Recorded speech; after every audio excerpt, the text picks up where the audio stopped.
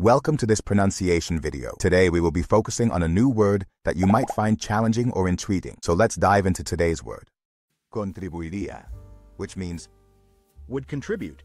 Conditional form of contribute in Spanish. Let's say it all together. Contribuiría. Contribuiría. Contribuiría. One more time. Contribuiría. Contribuiría. Contribuiría. Thank you for joining us on this adventure in pronunciation. Remember, language is a journey, not a destination. Keep exploring, experimenting, and expanding your linguistic horizons. We'll see you next time.